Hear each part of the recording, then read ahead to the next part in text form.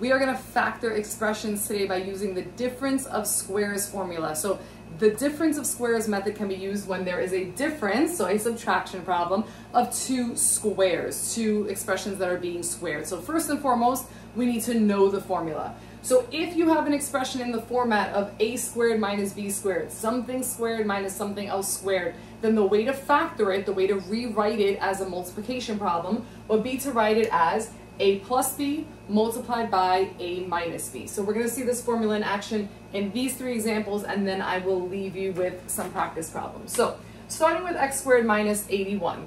I like the x squared term. I see the square in it, obviously. The 81, not so much. So this formula requires you knowing your perfect squares and you being able to recognize a problem kind of being um, difference of squares expression in disguise, right? So I want to try to rewrite this expression so that I can see it like this. So let's try to rewrite this as something squared minus something else squared so that I can apply this formula.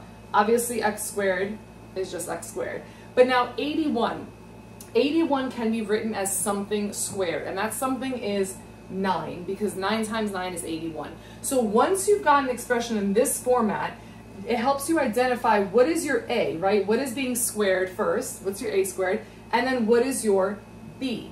And my B in this case is 9. Once you've identified those two things, you can just plug and play into the formula. So the formula tells me that once I have A and B, I'm just writing A plus B times A minus B. So my A was X plus my B was 9 times, again, my A was X minus my B was 9. So x plus 9 times x minus 9 is the factored version of x squared minus 81 when I apply the difference of squares formula, all right? Um, a good thing to know how to do is check these problems, especially because as a test taking technique, if you've got a multiple choice test and you've forgotten the factoring method, you can always just multiply out the multiple choices and see if you get the expression you started with.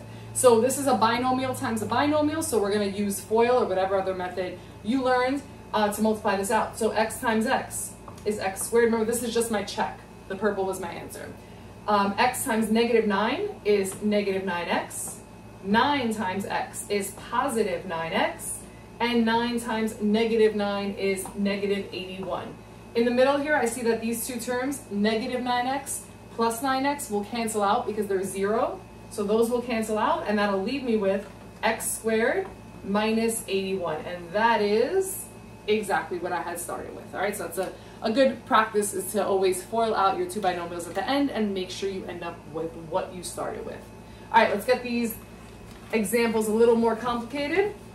So looking at the second one over there, 25x squared minus 36. Remember, my goal is to rewrite it so that it looks like the blue, so that it looks like something squared minus something else squared. So what squared would get me 25x squared. Let's look at the number part first. What number squared would give me 25?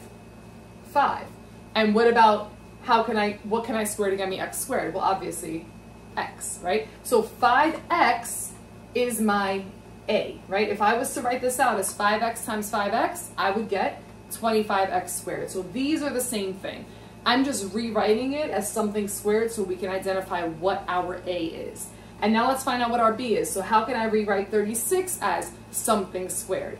That something is 6. So now I found my b. So again, once you've identified what your a and b are, it's just a matter of plugging into the formula, substituting in. So the formula says that I'm writing a plus b. So a is 5x, right? I had to square that whole thing, 5x, not just the 5, not just the x. Plus my b, which is 6, open a second parenthesis, and I'm doing A minus B. So here's my answer. 5x plus 6 times 5x minus 6. Using the difference of squares formula, that's how I factor my red problem. Right? One more example. It's going to get a little more complicated. I'm trying to rewrite this red expression as something squared minus something else squared. As you're watching, if you think you have an idea, please pause the video and try. See if you can get it on your own without me, and then see if you got it right. So I'm looking for something squared minus something else squared. That will, that will not change the value of these, right? So what squared would get me 144x squared? Well, I know that 12 times 12 is 144, and I know that x times x is x squared. So here is my a term. And what about the second term? What squared would give me y to the sixth power? Well, I have to remember that when I'm raising a power to another power, I'm multiplying those exponents. So when I'm trying to think about what goes in here, it's going to be y to the something, right? Well, what times 2 is going to give me the exponent of 6 that I need? The answer here is 3. So that means that my b term is y to the third power. If I square y to the third power, I'll get y to the sixth power. y to the third times y to the third is y to the sixth. So now I've identified my a, I've identified my b, now we're just substituting into the formula. So a plus b, 12x plus y cubed times a minus b. 12x minus y cubed. So here is my factored version of the red problem after using the difference of squares formula. All right, I have got some practice problems for you that you should try to see if you've understood the concept here. If you get them right, the answers are in the description of the video. So if you get them right, shout yourself out. If you get it wrong and you can't find your error by looking at my answers, um, leave a comment and I will try to help you find your mistake.